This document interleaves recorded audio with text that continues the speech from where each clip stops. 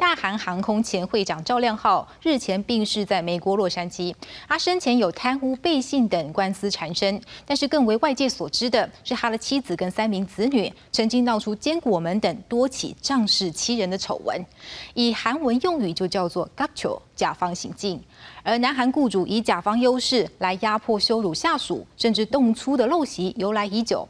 在今年七月即将要上路的劳工法修正案，终于首次对于这一类仗势欺人的行为，寄出最高两年的法则。韩国上司动辄暴怒斥责下属，各种无理要求甚至动粗的影像，随着网络传遍全世界。严重的权势霸凌歪风，在南韩有个特殊的说法，叫做 capture，也就是甲方仗着自己有权有势所展现的傲慢和欺压等恶劣行径，而员工身为仰人鼻息的乙方，为了饭碗，只能忍气吞声。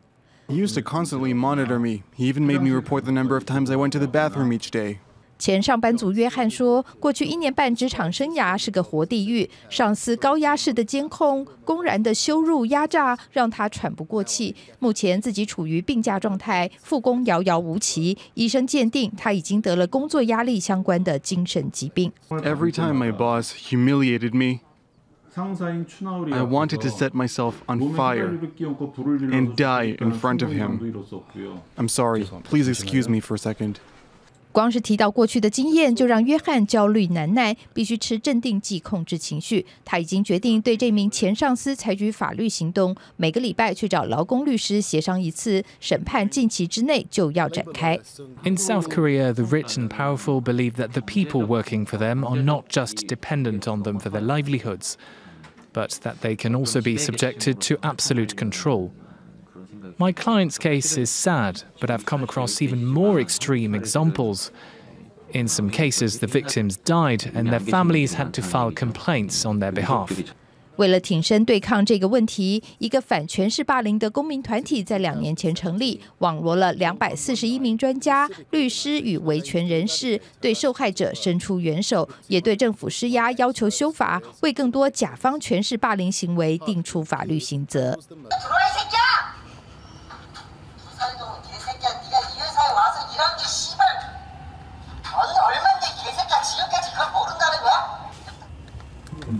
맞아서 멍든 There are cases which are not yet recognized by law, so they are difficult for us to address. The labor minister could resolve this, but he has been dragging his feet.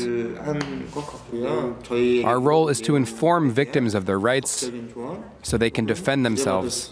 根据一项调查，高达九成七的韩国人认为自己受过或轻或重的所谓 capture 甲方行径骚扰。江敏珠曾经是韩国一家大 电视台的摄影人员，勇敢对性骚扰的上司提告。I was confused when my bosses started making sexual references or behaving inappropriately.